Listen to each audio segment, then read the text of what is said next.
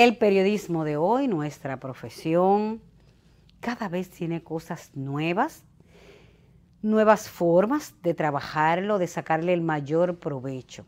Pero hay cosas, señores, que no cambian. Hay cosas que se mantienen igual en el tiempo o tienen una base de donde parte todo.